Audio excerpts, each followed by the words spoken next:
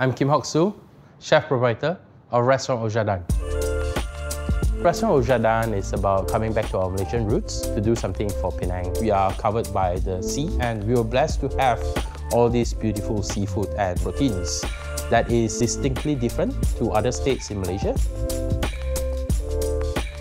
85% of our current team are originally from the island itself. So we try to showcase a lot of local produce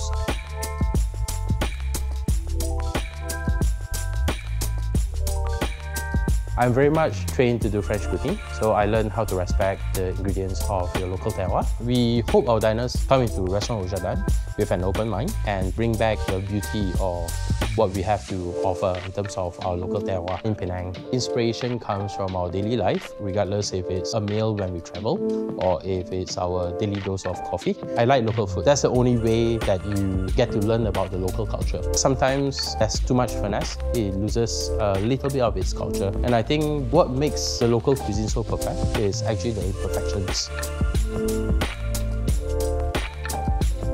Our ethos in Restaurant Jardin as much as possible, we kind of put a lot of little components in place. That is those small little touches that differentiates us to our fellow peers or other restaurants or other chefs because the, the small hmm. little freshest moments in life is very very important.